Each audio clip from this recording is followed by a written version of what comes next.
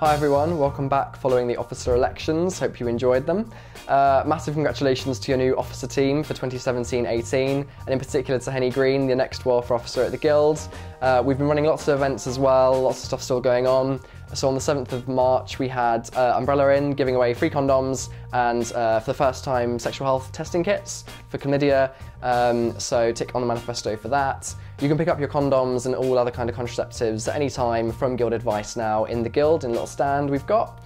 Um, we've also been planning mental health events, uh, the next phase of the Mind Your Head campaign and what that will look like towards exam time.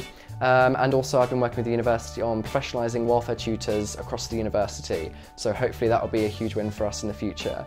Um, but yeah, also thank you for everyone who elected me for NUS delegate. I'm very excited to be going to NUS National Conference and to be taking the mental health policy idea that we passed through your ideas. Um, so yeah, thank you very much for that. Uh, and good luck with the rest of your deadlines this term and have a nice Easter break.